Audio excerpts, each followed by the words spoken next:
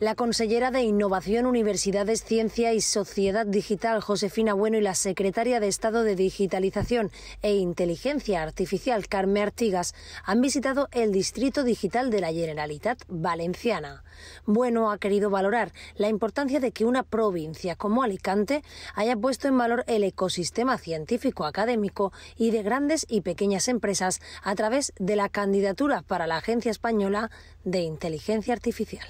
y por lo tanto consideramos muy positiva esta visita que viene a reforzar y a unar sinergias entre todas las acciones que está emprendiendo el Gobierno de España, pero también que están, por supuesto, alineadas con esas prioridades de la Generalitat Valenciana, que es hacer de la comunidad, hacer de Alicante y hacer de Distrito Digital, que parte desde Alicante, pero vertebra toda la comunidad valenciana, pues un nodo de digitalización, de emprendimiento y de, eh, digamos, valoración de lo que es la inteligencia artificial de manera transversal Gracias a esta candidatura, Carmen Artigas ha anunciado una inversión de 16 millones de euros para desarrollar tres proyectos de ciberseguridad, emprendimiento digital e inteligencia artificial. Por lo tanto, estamos hablando de una inversión muy superior a la que hubiera supuesto la agencia, pero en ámbitos ya de inversión que generan al final tejido productivo. Por yo quiero decir que eh, gracias a esa candidatura al esfuerzo público y privado se ha puesto en valor un ecosistema realmente puntero a nivel nacional